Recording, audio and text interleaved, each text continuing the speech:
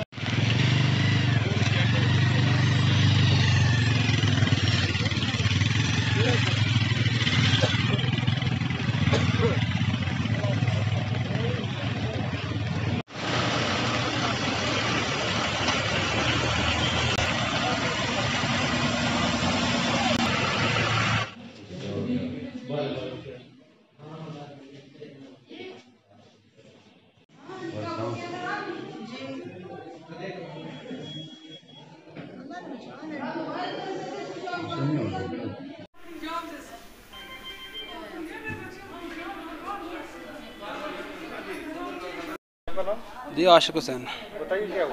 سر، ہم لسانہ سے پونچھ آ رہے تھے، تو اچانک درخت گر گیا گاڑی کے اوپر۔ تو دب گیا نیچے، تو بڑی مشکل سے لوگوں نے اس کو اٹھا کے تو نکالا۔ پھر بعد میں جے سی پی آئی، تو پھر اس کو توڑ کے سائڈ کیا ہے۔ مجھے لگ گئی بازو میں لگ گئی اور ٹانگ میں لگ گئی گاڑی میں تین آدمی تھے، ایک بائک۔ یہ لسانہ سے۔ ہے؟ میں یہ صبح تقریباً سات بجے گھر میں بیٹھا ہوا، اچانک آواز آئی، دھڑکا، پورا آواز آئی، بڑے زور جیسے کوئی گولا وغیرہ پھٹتا ہے۔ میں وہ پھٹ اٹھ کر گھر سے باہر نکلا اور دیکھا، ایک گاڑی نیچے آئی تھی، اس کے بیچ میں بچے بھی بیٹھے ہوئے تھے ایک عورت تھی بیچارہ چلانے والا تھا۔ شکر پرماتما کا ہے کہ وہ دونوں بچ گئے ہیں اور بڑے زور سے یہ بوٹا گرا ہے۔ یہ میں نے تقریباً ایک مہینہ پہلے کہا تھا اپنے پولیس وال چوکی والوں کو، بھائی، یہ بوٹے کا خطرہ ہے، یہ بوٹا گرنے والا ہے، تو آپ ذرا اس کو کٹا لیں، یا کسی کو دے دیں۔ تو پولیس والے بول رہے ہیں بھائی یہ جنگلات کا مسئلہ ہم اس میں کچھ نہیں کر سکتے ہیں۔ آج بھگوان نے بہت بڑا عصا ٹالا ہے۔ میں شکر گزار ہوں اس پرماتما صلی اللہ علیہ گرو رام کا کو جنہوں نے اس عصے کو ٹالا ہے۔ جے ہند۔ جی میرا نام شوکت حسین۔ سر ہم آ رہے تھے گھر سے لسانہ سے آ رہے تھے ادھر ہاسپٹل میں۔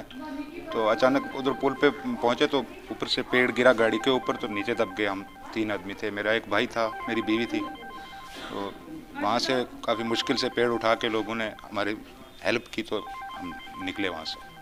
جی یہ ایکسیڈنٹ کے ہمارے پاس تین پیشنٹس آئے، یہ لسانہ سے آ رہے تھے پنچ کے لیے۔ تو یہاں شیر کشمیر برج کے پاس ان کا ایکسیڈنٹ ہوا ہے۔ تین لوگ ہیں، دو میل ہیں، ایک فیمیل ہے۔ یہ اسٹیبل ہیں سارے اوور آل اسٹیبل ہیں۔ ہم نے فرسٹ ٹریٹمنٹ بھی دے دیا ہے اور ایکسریز وغیرہ کے لیے ایڈوائز بھی کر دیا، ابھی ایڈمٹ ہی رکھا ہوا ہے۔